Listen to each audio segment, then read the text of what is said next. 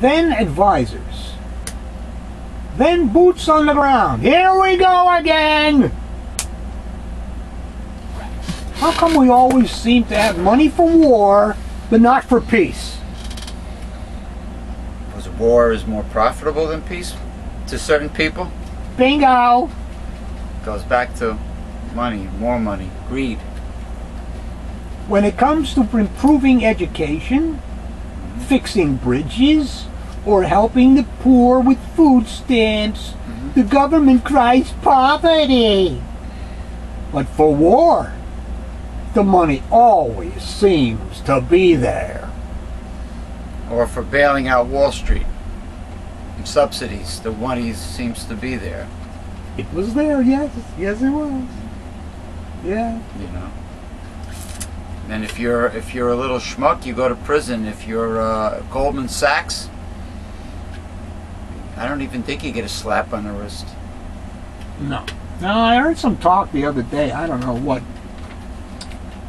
A couple of guys are uh, they were being investigated and they may go to jail and stuff for doing something on Wall Street.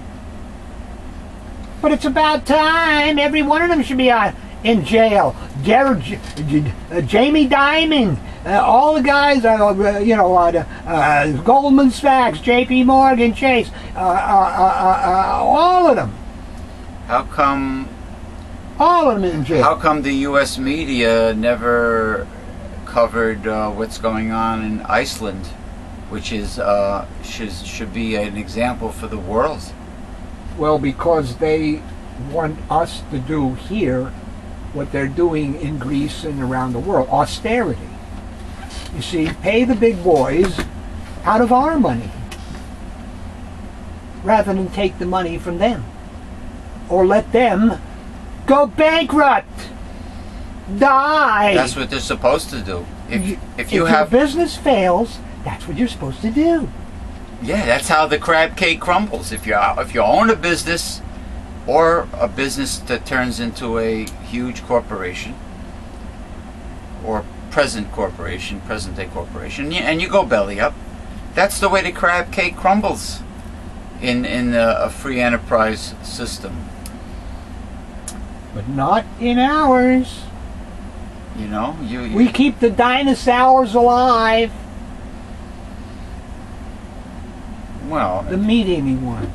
the The yeah ones the, who eat the- our lunch. the carnivores, the, the T Rexes. Yeah. I mean, uh, the, cor- the corrupt, greedy T Rexes, keeping them alive. Uh, Yes. I mean, I, I don't know. What do you, what do you think about the uh, or, the U.S. auto industry bailout? I, I know Ford would have been the the only one left. They had some money, yeah. Ford actually didn't really get hurt. No, they had some money. Ford was obviously Ford was doing the right things. Yeah, well, that was not a bailout per se. That was a loan. They paid some Yeah. of General Motors has paid most of it back. But GM like kind of learned But to. AIG Yeah. and Wall Street, those weren't loans. Yeah. Those were to buy up their crap. Their securities that turned into crap because they were worthless. Yeah. Mortgage backed securities. So our taxpayer may pay our money went in there and bought up that crap so that the banks could have clean, clean balance sheets. And when they had clean balance sheets, and they were able to borrow money from the Fed for less than 1%, they still didn't get the money and lend it out. They let it make money in the Fed. See? They didn't they didn't continue in their business of lending money to those who need it. It's like you. If you had three employers, employees, and at the at the end of the week you have to pay them, and you get a bailout, and you put the mail the bailout in a, in a in a savings account, and you draw the interest on it every week, but you don't pay your employees. That's what they did. And of course, the corporations kept trillions of dollars offshore so they wouldn't have to bring it back here and pay taxes on it. You know? Unbelievable. It's all the strangling of Uncle Sam that's been going on. Okay? Yeah. And they try to get the money from the little guy to continue Uncle Sam. Shrinkage. Well, tr- in other words, trying to get from the little guy the amounts that they no longer are paying. Look, I'm sure. Broadening the base. I'm sure uh, the Republicans and the Tea Baggers, Tea Party, I'm sure they know the truth about the job market and the economy and about uh, welfare. People unemployed can't find a job and and uh, there's no wor- work for the welfare recipient. They know the real truth, but they, they, I, their objective, they come up with this all this preposterous, stupid ass, asin, ideology and asinine comments because they just want to shrink government in every which way Make it impotent. and privatize everything. Well, privatizing turns it all over to the corporations, the private sector. Right, exactly. That's what that's all about. I mean, I heard And if that. you do that, then you have no reason for government to Yeah. exist. Hey, I heard if you uh, you're on welfare and you win the lottery, they expect you to pay them back. Yes, they do. They want to get paid back. I have a personal um, knowledge of a person back in the 70s Right. who was unemployed, had a savings, a couple of thou, Right. lived on that for about two years, Right. and when he ran out of moolah, he went for SSI, Okay. and he received SSI. Okay. until his Social Security disability came in. Okay. So that was like three months. So he, he they swapped them. They they switched him from SS supplemental security income to Social Security disability. But he had to pay back the $750, which was the three months of SSI Well- when he got his first Social Security check. So he got like a retroactive SSD check. So they looked at every penny. Yeah. So he had to pay it back. But I'm but but but, but I'm sure. Uh, what about the corporate uh, bailouts where they were not required to pay back? All of them were never required to pay back. Ah. I just told you. The United States taxpayer bought up all these worthless securities from the banks so that the banks, their balance sheets looked clean. What are you talking? You see, when a bank has a bank has assets, and it has, Yeah. you know, whatever they call when they're not an asset. So they so, so they used uh, collectively uh, the banks and uh, I guess Goldman Sachs. They they util, utilize what is uh, infamously known as Ponzi scheme, right? Well, it's not a Ponzi scheme in the, in the you know the actual sense of it. It's a uh, it's cheating. It's lying. flat out. It's a it's corrupt. It's criminal. Yeah. It's criminal.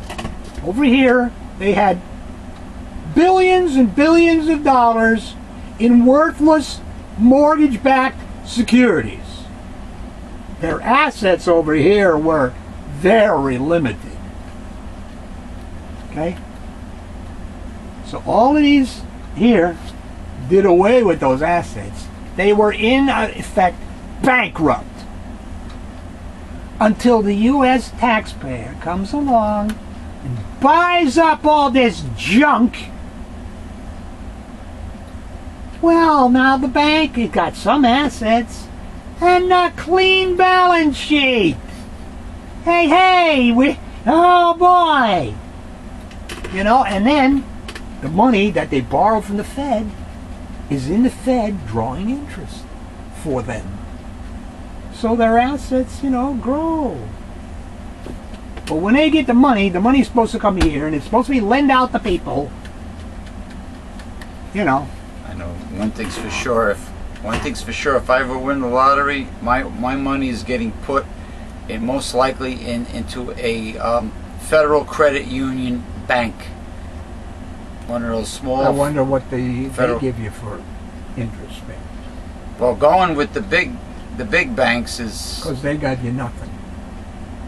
no, you don't you don't get It's under 1%. you don't get nothing. Like 0.012 or something like that. When I was in high school, they were giving you five or six percent I got 6% in 1970 uninsured, uninsured. from the Pulaski Savings Bank I remember that. in Irvington, New Jersey. I think my grandfather dealt with Spencer Savings and Loan. we have one in Lodi. There's, yeah, there's one left. It's little, but it's there. You know what I mean? Uh, as far as uh, the big boys, uh, what is it? Citibank, Bank of America, they suck. Well, the Republicans back in the 1980s used the savings and loan banks as their own private piggy bank and made the taxpayer pay for that bailout under Mr. Reagan. Okay? The taxpayer meaning the middle class and the poor And with consumption taxes. But it, with Republicans, it's never, ever, ever the the the rich, the top twenty percent that pay. Never. and they want them to pay less. Okay? You're dealing with pure corruption, people. Wake up, wake up. It's it's like it's it's it's not just re- Republican versus Democrat. It's it's the problem is the two-party system. You know, and and and and, and the even bigger problem is people, the American people do not get to know any of the progressive independent candidates because they don't get FaceTime. So even when they run, nobody gets to know them. They're, they're never invited to the debates. No, the two-party system owns owns you know the elected. So you got your choice, Tweedledee or Tweedledum. You know, the frying pan or the furnace. And if it's a Republican, it's usually dumber. Tweedledummer. Or crazy like a fox. You know, somebody who pretends to be Tweedledummer. No, they don't pretend to be dumb. Believe me, You mean they are dumb. Because their ideology makes them that way. That's correct. You know, it's You uh. can see that with all these stupid Republicans who say stuff about uh, uh, abortions and, and rape and all this stuff. They don't know what the hell they're talking about. Yeah. Well, hey, but even sake. like you said, even the Democrats And Michelle Bachmann have Bachmann, campaign uh, contributions from corporations. Michelle Bachmann and, and her hubby and the other uh, uh, uh, reparative uh, uh, uh, uh, uh, uh, procedures. We can make gay people straight if we just pray to God and, and, and use the Bible and stuff. Well, that's what Republicans say to the poor. Well, well we'll pray for you. So money's going to come down from the sky from God and uh, to pay buy food and pay Well, your number- rent and Number one, they don't understand that God doesn't hear their prayers in the first place. well, evangelicals feel you can you can talk to God anytime. Oh yeah, it's like talking to the wall. You can talk to the wall anytime you want. See that thing It's there? like talking to anonymous. See that thing there? Yeah. Pick it up. You mean the stovepipe? Only a few people in any era have a stovepipe to God. 144,000. That's it. Period. The elect. Out of the 7 billion in the world. Well, that's what Herbert W. Armstrong preached. That's what's in the Bible. Uh, that the uh, there is no a rapture uh, to save the uh, to save Christians from the tribulation.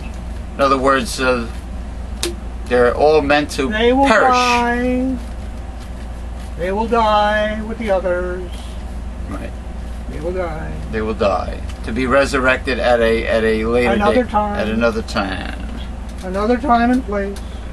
Right. But right now, God only calls a few to do the jobs that He needs done when Jesus comes again. Yeah. Well, getting back to Bachmann, I mean, I mean, believe it or not, I don't know why they they still make Sarah Palin relevant. Bachmann's well, just a wait a bubblehead. second. Fox News took her back. so she will be a little bit more relevant now. But they like they like uh, Fox News likes these idiots that have no facts to back them up. These ideologue, these, these because it's not a fact channel. they. You Okay. think the controversy is, gives them the ratings, Exactly. and the ratings go up because the and, and the sponsors like that because then more idiots in the, More warm bodies. more idiots in the United States that are that are part of this ridiculous cult out down south in the red the red Bible states and out west in the red Bible states, Bible Belt states. They watch Fox News. All these these these morons watch Fox News. You think you think these people like the um, instead of thinking about facts and education, you think they're concentrating more on the hype of the ideology from Fox News, the hype, like like watching a, a, a prosperity preacher on TV, an evangelist that gets all funky and excited. it's like It's, it seems to be emotionally it's like your friend says. He has a pastor, which he believes. So these people have a channel that they believe in. This pastor is awesome to him. Exactly. He he he he. The, the, The all, person overrides the content. And when I said to him, uh, "What makes you think that this pastor in Brooklyn is hundred percent accurate?" and he changes the subject. How can he be accurate if he pre- preaches the traditional crap? And the amazing thing is, they say they can prove it. It's in the Bible. Oh, how And- come every time I look it up, it ain't there?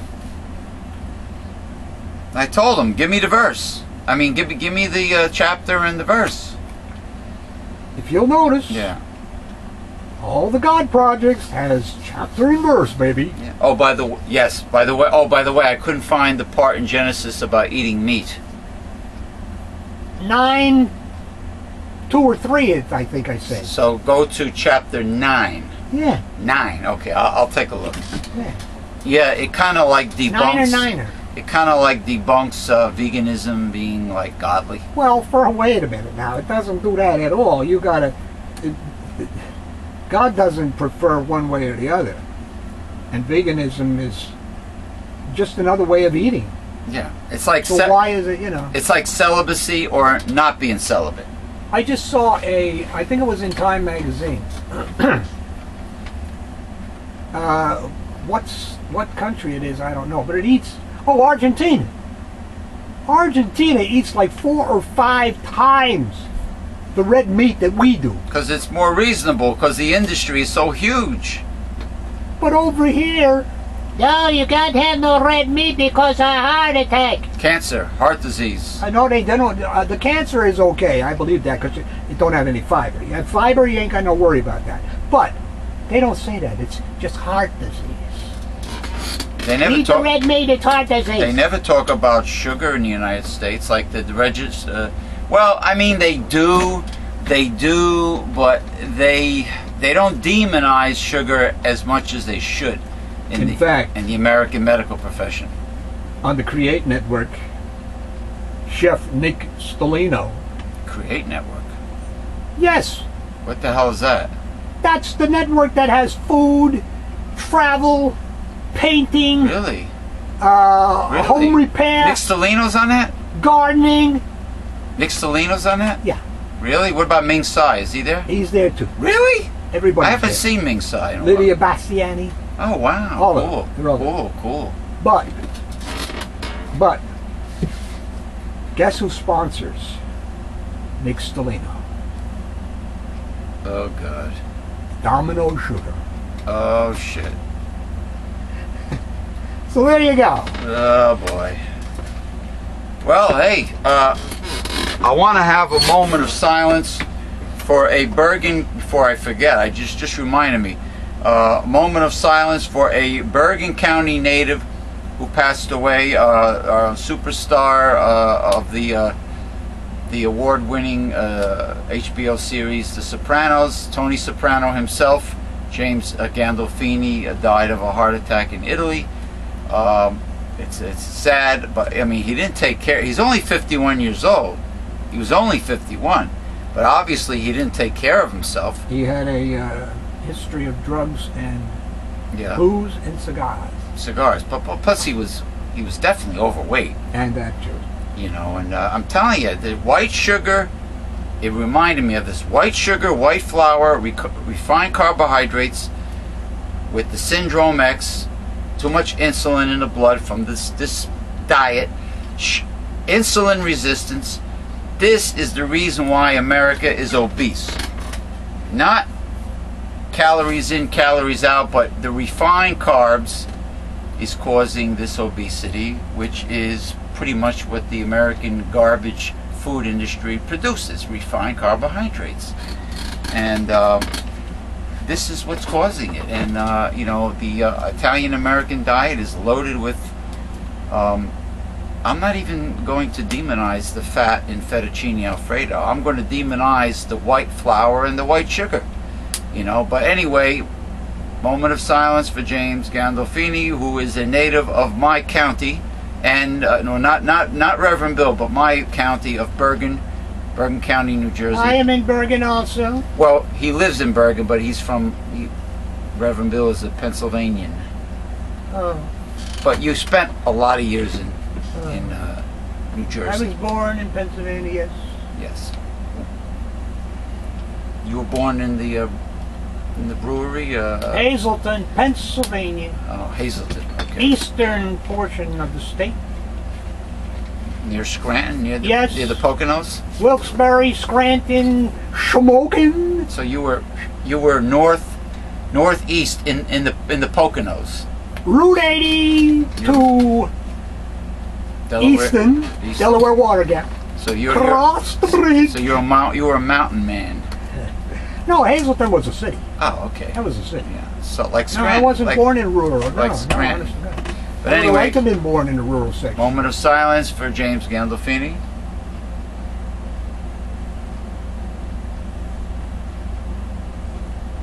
Okay. Um, and if people don't realize it, uh, my hometown of Lodi, New Jersey happens to be the location of the original one and only Bada Bing's, Oh, which is actually Satin Dolls. It's on Route 17 South in Lodi, New Jersey, in Bergen County. I think James Gandolfini, I think his hometown was Montvale. No, I'm sorry, Park Ridge. ah, Park Ridge, New Jersey, because they mentioned Park Ridge High School that he went to.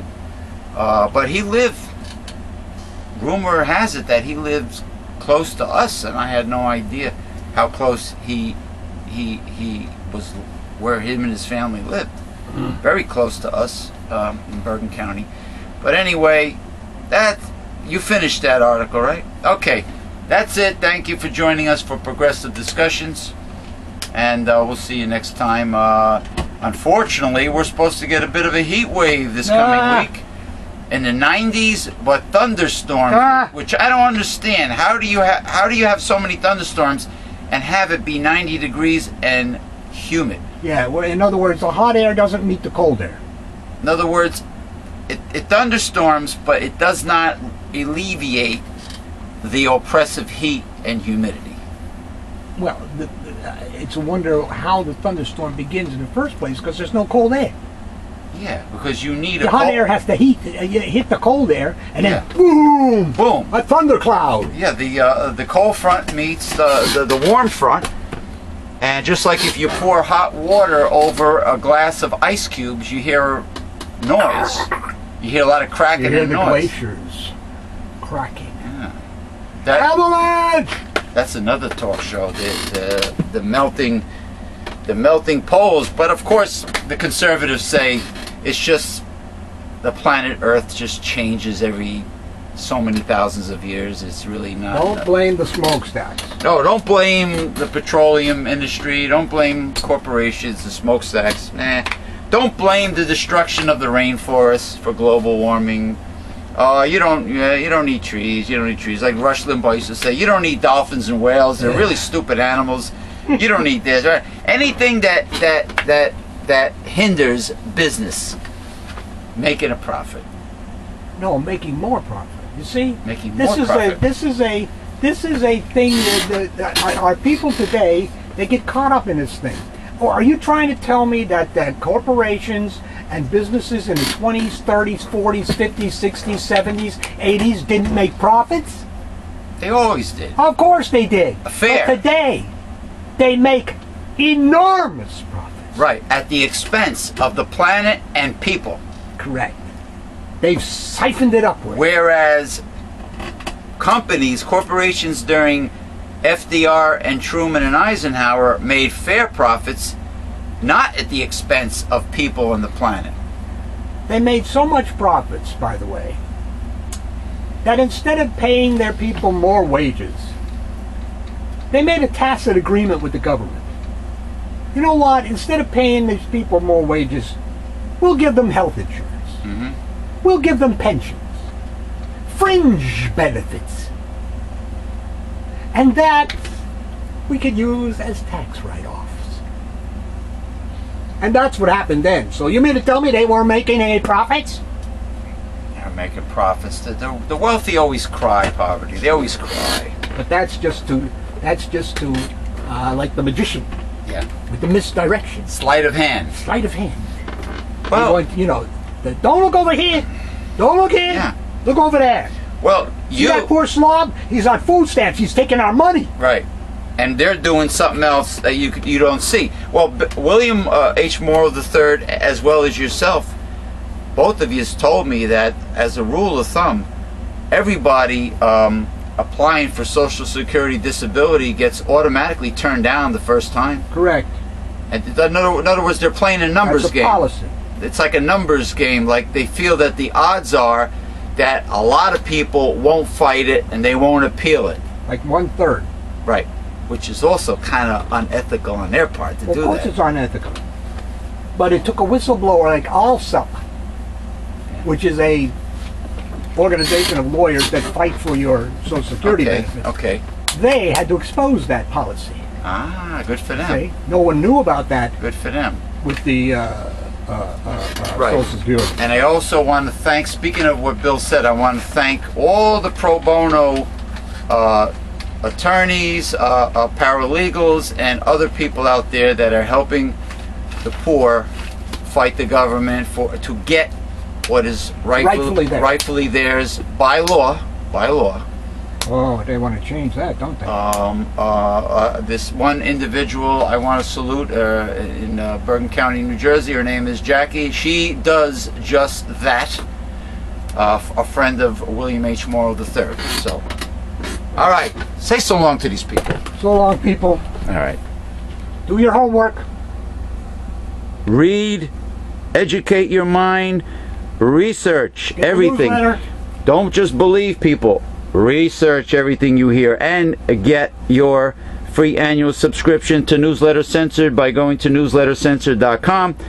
This is how you join our organization and be a part of our organization. This is the best way to be a part of us. So get it now.